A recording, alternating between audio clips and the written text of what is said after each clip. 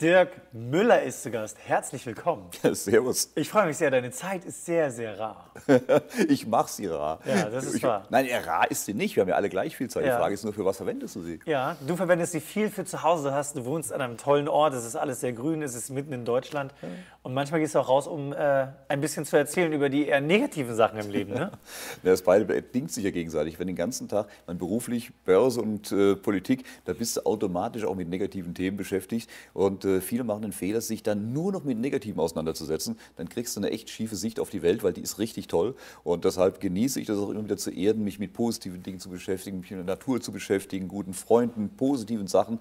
Und äh, dann hast du auch wieder äh, die richtige Stimmung, um auch mal wieder auf Problemfelder zu schauen, ohne dich davon zu sehr verrückt machen zu lassen. Ich habe mir abgewöhnt, Nachrichten zu schauen, weil ich mag dieses Worst of nicht mehr. Es gibt eine Seite im Internet, die heißt goodnewsnetwork.org.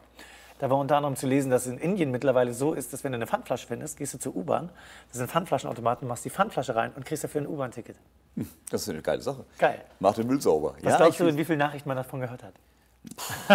Verdammt wenig. Ja. ja. Aber genau das ist es. Wir brauchen wieder mehr Positives, wir brauchen mehr positive Meldungen oder vor allem uns mit mehr positiven Sachen beschäftigen. Das heißt nicht das Negative ignorieren und äh, alles heile Welt spielen. Das wäre Bullshit, weil sonst kriegst du kein Problem gelöst. Aber sich nur noch mit Problemen zu beschäftigen, ohne die schönen positiven Sachen zu sehen, das ist der falsche Weg. Das ist ein schöner Satz von dem Mann, der Machtbeben geschrieben hat, mit dem Untertitel Die Welt vor der größten Wirtschaftskrise aller Zeiten. Ähm, es wurde viel kritisiert, äh, das Buch. Bevor wir darüber sprechen, du kannst es gewinnen. Einfach eine E-Mail an info.webtalkshow.de mit dem Betreff Machtbeben. Es ist sogar handsigniert. Viele Leute haben gesagt, oh, da sind aber ganz schön viele Verschwörungstheorien drin, Herr Müller. Also noch, viele Leute, noch viel mehr Leute haben gesagt, das geilste Buch, das sie je gelesen haben. Worum geht es darin? Ähm, es geht darum, um Dinge, die ich auch alle belegt habe, mit über 360 Quellen drin. Also wenn einer sagt, Müller, äh, das stimmt nicht, was du schreibst, dann soll er mir sagen, wo genau, wo konkret. Das ist bis heute nicht passiert. Es kommt immer nur, oh, ich Komisch, weiß ne? nicht. Völliger Bullshit ist natürlich. Aber es ist klar, wenn die Leute was nicht wahrhaben wollen, dann äh, nehmen sie Fakten nicht wahr. Aber wie gesagt, ich habe nur über das geschrieben, was ich nachweisen kann, und zwar mit belastbaren Quellen, die ich angegeben habe. Und dann soll einer kritisieren, was ihm daran nicht gefällt. Wie gesagt, das bleibt bis heute aus. Tatsächlich, um was geht's? Es geht um sehr, sehr viele Themen, unser gesamtes großes Bild. Ich komme aus der Börse und äh, du kannst die Börse nur verstehen, wenn du das Zusammenspiel verstehst, weil alles auf der Welt Einfluss auf die Börse hat. Jede politische Entscheidung, jede gesellschaftliche Entwicklung hat Auswirkungen auf Märkte, Aktien, Unternehmen. Und ich muss versuchen, so viel von der Welt zu verstehen wie möglich und vor allem, wie es zusammenhängt. Das versuche ich im Buch ein bisschen zu übersetzen. Wo stehen wir? Wo geht die Reise hin? Was sind die wichtigen Mechanismen, die gerade ineinander greifen? Und was für logische Schlussfolgerungen kommen daraus? Was erwartet uns in den nächsten Jahren? Und ähm, darüber geht das Buch. Aktuell ist es ja so, dass die Leute immer ein bisschen überrascht sind, was auf der Welt so passiert.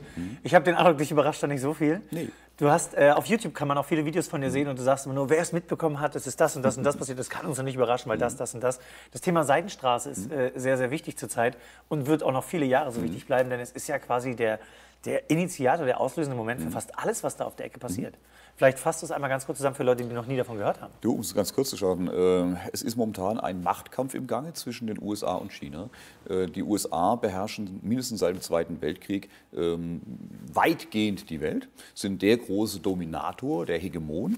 Und ähm, China ist jetzt auf dem besten Wege, und hat vor, Amerika abzulösen. Jetzt kann man sich vorstellen, dass die Amerikaner da wenig Spaß dran haben, sagen, wir würden es gerne noch ein bisschen machen und die Chinesen sagen, nö, wir würden gerne. Und das ist genau das, was gerade stattfindet. Und Amerika hat über 40 Jahre lang China aufgebaut, man hat sie gebraucht, man hat davon profitiert, einerseits als Bollwerk gegen die Russen in äh, Südostasien, andererseits äh, den wirtschaftlichen Aspekt, man hat billige Arbeitskräfte gehabt, billige Produkte importieren können. Die Amerikaner haben sehr davon profitiert. Die Chinesen haben 40 Jahre dieses Spiel mitgespielt, davon auch sehr profitiert. Und jetzt kommt ein neuer Präsident, der jetzt in China im Amt ist und der sagt, wir haben keine Lust mehr, das Anhängsel der Amerikaner zu sein, wir übernehmen den Laden.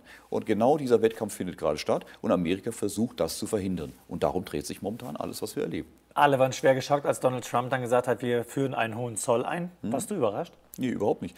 Ich, hab, äh, die, ich hatte das Buch geschrieben, bevor die Zölle eingeführt worden sind, habe aber diese Entwicklung bereits angekündigt. Ich habe gesagt, das kommt, äh, weil Amerika muss jetzt aus seiner Sicht, aus seiner strategischen Sicht heraus, wir übersehen oftmals, dass Macht und Geostrategie dominanter ist als Wirtschaft. Wirtschaft ist wichtig, kommt aber erst nach der Machtfrage, äh, weil die Macht bedingt, dass ich Geld verdienen kann.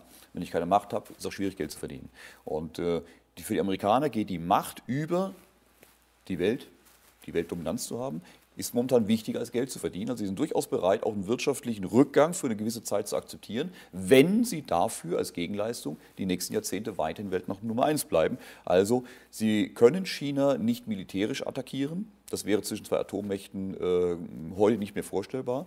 Die einzige Möglichkeit, China einzubremsen, ist, ihnen wirtschaftlich Probleme zu bereiten, flapsig ausgerückt den Stecker zu ziehen. Und genau das ist, was Trump gerade macht. Alles, was er seit Amtsantritt 2016 gemacht hat, war nichts anderes, als die Schotten dicht zu machen für die amerikanische Wirtschaft, für Amerika, sich auf den Krieg, den Handelskrieg mit China vorzubereiten, sie bestmöglich darauf abzuschotten wie wenn man ein Schlachtschiff auf die Schlacht vorbereitet. Das hat Trump gemacht mit all seinen Maßnahmen und führt jetzt diesen Kampf gegen China auf der wirtschaftlichen Ebene. Ist Donald Trump damit der richtige Präsident für Amerika gerade, wenn das das oberste Vorhaben ist? Es hätte jeder andere Präsident genauso gemacht. Hillary Clinton hätte, hätte das, das ganz gemacht? genauso gemacht. Ist, Trump kann das nur viel aggressiver umsetzen. Was Trump macht, ähm, ich glaube, wir machen einen großen Fehler. Ich bin kein Fan von Trump oder sonst irgendwem. Ich äh, versuche immer nur zu erklären, was passiert. Aber wir machen einen großen Fehler, wenn wir Trump als, äh, als Wahnsinnigen ansehen. Er spielt diese Rolle des Wahnsinnigen perfekt. Und das ist eine Strategie, die ist uralt. Machiavelli hat die schon im glaube 16. Jahrhundert äh, definiert. Ähm, die Madman Theory und die wurde von Präsident Nixon erstmals umgesetzt und das ist heute sehr, sehr gut dokumentiert. Er hat es auch später äh, zu Protokoll gegeben, äh, zusammen mit Kissinger. Madman Theory heißt, Machtspiele zwischen Staaten, zwischen Präsidenten sind wie ein Schachspiel. Jeder Präsident oder Diktator, wie auch immer seines Landes, kann sich nur in gewissen Rahmen bewegen. Der hat seine Unterstützer, seine Gegner, seine Lobbygruppen und kann sich nur innerhalb enger Rahmenbedingungen bewegen. Wenn ich auf der anderen Seite jetzt diesen Zug mache, diese Entscheidung fälle, dann weiß ich, der andere kommt in die Lage und kann jetzt nur dies oder jenes tun. Aus logischer Überlegung wird er das machen. Und so ist ein Schachspiel zwischen diesen strategischen Köpfen. Das kann ich aber nur, solange ich überzeugt bin, dass der Gegenüber noch alle Latten am Zaun hat. Wenn ich einen Gegenüber habe, von dem ich nicht weiß, wie der reagiert, der völlig irrational reagiert, kann ich mein Spiel nicht aufziehen. Ich bin permanent in der reagierenden Rolle. Trump spielt das perfekt. Er ist offenkundig, wir, die Medien, Freund und Feind weltweit, sieht ihn als unkalkulierbaren Irren an, wo man nicht weiß, was er, die nächste, was er als nächstes tut. Er selbst weiß ganz genau, was er vorhat, wo die Reise hingeht, was er macht. Das heißt, der Einzige, der weltweit momentan in der Entscheiderposition ist, im, im Führerstand steht, das ist Trump. Alle anderen müssen auf das reagieren, was er macht.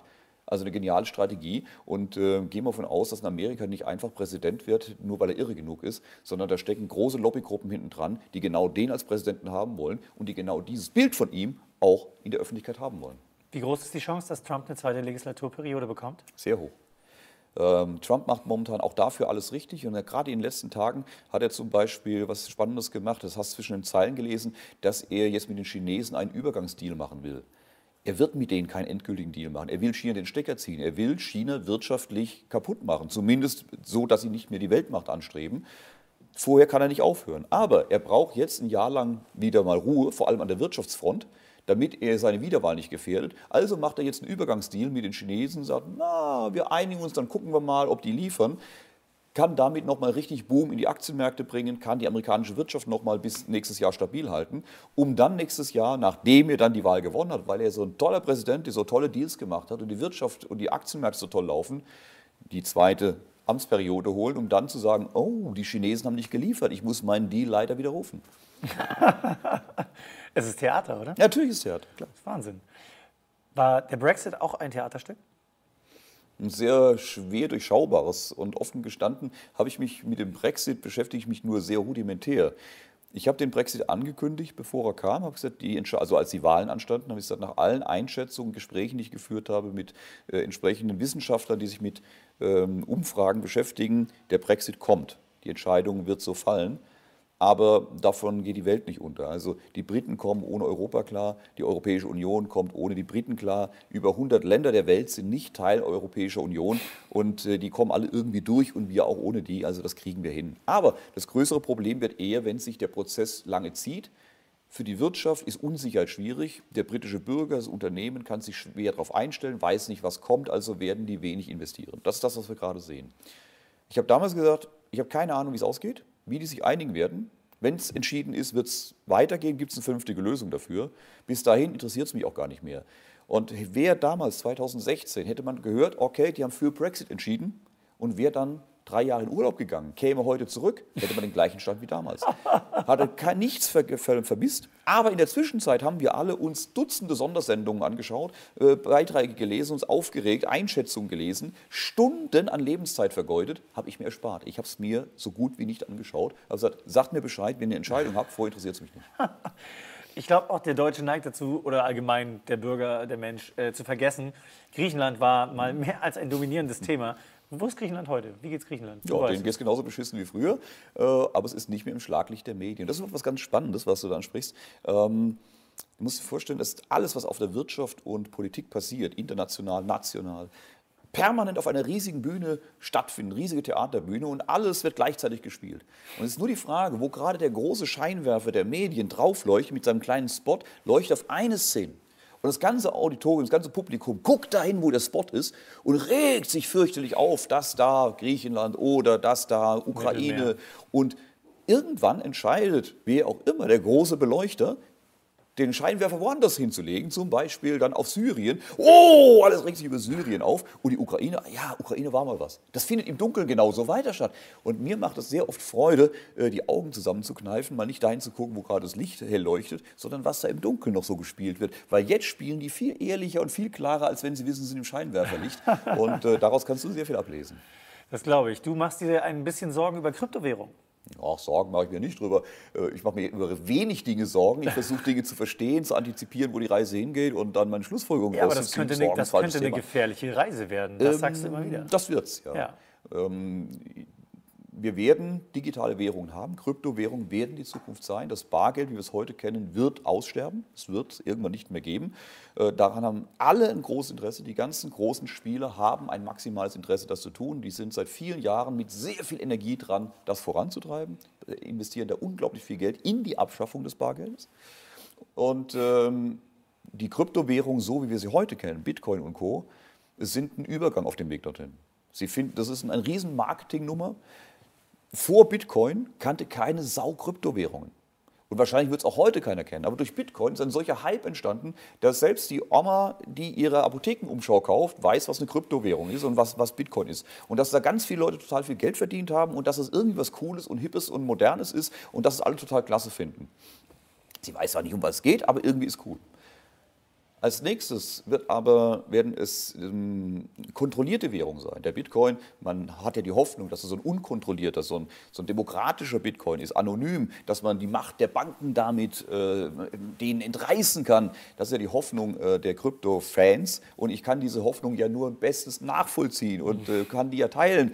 Äh, leider ist sie sehr naiv. Ähm, diese Jungs verfügen mit ihren Währungen über sehr, sehr viel Macht und werden Teufel tun, sich diese Macht aus der Hand nehmen zu lassen. Das heißt, wir werden Kryptowährungen sehen, aber es werden dann nicht die anonymen oder unabhängigen Bitcoins sein, sondern es werden offizielle Kryptowährungen sein, zum Beispiel wie es Libra von Facebook oder sogar ein Kryptodollar. Es werden dann Währungen sein, die alles mitzeichnen, was du machst. Das heißt, man wird dann von der, vom ersten Lutscher bis zum Sargnagel wissen, wann du was gekauft hast. Ob du es längst nicht mehr weißt, die wissen, was du vor 20 Jahren gekauft hast. Sie wissen genau, wie du tickst. Sie können dich lückenlos tracken, wie so dein Lebenszyklus als Einkäufer ist. Und es hat natürlich auch politische Implikationen und sehr große Gefahren für die Freiheit der Gesellschaft. Das Denn ist fürchterlich mit Bargeld. Ich kann mit einem 5-Euro-Schein, kann ich zum Bäcker gehen, die kennen mich nicht und kriegen Brot dafür. Habe ich nur noch digitales Geld, was automatisch mit mir verbunden ist, kann mich eine künftige, weiß ich, wie die Regierung in 20 oder 30 Jahren aussieht, eine aggressivere Regierung mit einem Knopfdruck aus dem Spiel nehmen und sagen, du, Du kannst mit deinem Geld noch Brötchen kaufen, aber kein Benzin mehr, keine, keine Flugtickets mehr und äh, du kannst also nicht mehr reisen. Das ist Hausarrest, faktischen Hausarrest. Und wenn ich Ihnen ganz blöd komme, nehmen Sie mich auf Null, dann kriege ich nicht mal mehr ein Brötchen und ich habe nichts mehr, was ich bezahlen kann. Äh, die Anonymität ist raus und ich bin jederzeit blockierbar. Und das ist eine Gefahr, nicht aktuell. Jetzt haben wir eine Regierung, wo das nicht passieren wird. Aber weiß ich, wie die Regierung in 20 und 30 Jahren aussieht, diese Gefahr müssen wir ernst nehmen. Und das zu ignorieren und wegzuwischen, ähm, wegen dem Argument, auf dem Geldschein sind so viele Bakterien, fragwürdig. Ich glaube, die Faulheit des Menschen ist das größte Gegenargument. Also das ist so ein bisschen die ganz gefährliche Sache. Es ist so viel, was du weißt. Wie schaffst du das alles zu kombinieren? Weil es sind ja auch, natürlich, es ist mhm. weltweit, aber es sind so viele Einzelpunkte. Es ist jetzt nur ein Ausschnitt. Also, mhm. wer Dirk jetzt zum ersten Mal sieht, guckt euch mal ein paar Sachen von ihm an im Netz. Es ist wirklich erschütternd, was du alles weißt. Ja. Und das dann so zusammenzupacken, mhm. das muss ja ein Riesenspaß eigentlich für dich sein. Das macht einen Riesenspaß. Das Wichtige ist, du brauchst erstmal ein Grundgerüst. Wenn du ein Grundgerüst hast, wie die Maschine funktioniert, dann wird dir auch plötzlich klar, wenn da was rappelt, dann ist es das Teil an der Maschine. Äh, wenn da was hakt, weißt du, welche Auswirkungen das woanders hat. Und äh, das ist wie mit allen Dingen. Nimm mal ein Beispiel an. Äh, stell dir mal vor, du hättest nur nie im Leben Formel-1-Rennen gesehen. Das ähm, ist der Fall. du setzt dich zum ersten Mal vor den Fernseher, sagst du mal, sind die bekloppt? Da fahren ein paar 20, mal, 20 Autos, fahren irgendwann röhrend los, um nach anderthalb Stunden da anzukommen, wo sie losgefahren sind. Das ist völlig bescheuert. Du verstehst nichts davon und es ist alles nur böhmische Dörfer und völliger Schwachsinn. Wenn du ein paar Rennen gesehen hast, kennst ein paar Teamnamen, kennst ein paar Fahrer, hast langsam mal Strategie verstanden, wie das mit dem Reifenwechsel geht und so weiter. Plötzlich hast du ein Gerüst von den Regeln, wie das Ding funktioniert. Plötzlich wird jede neue Information, ach, die haben einen neuen Motor, oh, die haben einen neuen Auspuff. Plötzlich kannst du das sofort einsortieren. Hm. Vorher, keine Ahnung. Aber wenn du mal das Grundgerüst hast, wird jede neue Information, weißt du sofort, wo du sie andocken musst und was sie für Auswirkungen hat. Und dann fängt das an Spaß zu machen. Und so war es bei mir genauso. Als ich angefangen habe, hatte ich genauso von vielen Dingen keine Ahnung habe mir dann aus Neugierde, aus purem Interesse an diesen Themen, äh, wo ich gesagt irgendwas ist da anders, als es mir darstellt auf den ersten Blick, habe ich angefangen zu recherchieren, meine eigenen, äh, meine, die versucht zu verstehen, wie diese Maschine tickt. Immer wieder korrigiert, mein Wissen auch korrigiert, indem ich mit Leuten gesprochen habe, die es wissen müssen, die eben aus diesen Branchen kommen, die aus diesen Führungs- und Entscheidergremien kommen so dass ich mein Bild meine, von der Maschine immer versucht habe zu optimieren. Und jetzt ist es dann relativ einfach, sobald eine Meldung kommt, so sofort zu wissen, wie mussten die einsortieren. Es gibt immer noch viele Meldungen, wo ich sage, scheiße, wo könnte der Baustein jetzt hin? Ja? Und dann geht der Spaß von vorne los. Aber das macht Laune. Wie dramatisch wird es, wenn Angela Merkel nicht mehr Bundeskanzlerin wird? ich glaube, das spielt nur eine untergeordnete Rolle, wer da gerade der, ich möchte nicht despektierlich sein, aber äh, wer der, äh, der, der, der Pausenclown vorne ist oder der Sprecher vorne ist. Ähm, man überschätzt die Rolle einer einzelnen Person in diesem Fall. Hinten dran stehen riesige Netzwerke. Natürlich, eine aber du weißt, Industrie. dass sie, weltweit wird sie ja hochgehoben es als sind, wichtigste Frau wir, der Welt. Wir, wir, gucken immer auf den einen da vorne. Denk mal an Apple damals, Steve Jobs. Ja, als es hieß, äh, Apple, das ist Steve Jobs. Wenn der irgendwann mal sterben sollte und nicht da sein sollte, bricht Apple zusammen. Meine Antwort darauf war, als Gottlieb Daimler gestorben ist, hat Mercedes aufgehört zu existieren, Daimler-Benz? Nein, im Gegenteil, es wurde ihm erfolgreicher. Der hat es zwar mal gegründet aber, und hat dann noch seine Nase im Wind gehalten, aber hinten dran ist ein Riesenteam äh, mit Entwicklungsabteilung und so weiter. Nur von denen hörst und siehst du nichts. Und alle Menschen denken, oh, es ist der Steve Jobs. äh, und hier ist, oh, alles ist, die deutsche Politik ist Angela Merkel. Nein, das ist ein riesen Politikapparat. Da hinten dran stehen Interessengruppen, Lobbygruppen, Einflussgruppen, Thinktanks und so weiter. Wer da vorne gerade äh, das Thema in die Öffentlichkeit posaunt, auf diese oder jene jene charmante oder weniger charmante Weise, ist relativ zweitrangig. Also ich habe mal gehört, dass äh, auch die Börse natürlich reagieren wird, wenn sie nicht mehr Kanzlerin ist. Nö. Das interessiert die Börse einen feuchten Kehricht. ähm, du musst ja auch im Klaren sein, die Börse, gerade auch in Deutschland, äh, ist im Wesentlichen abhängig von den internationalen Finanzmärkten.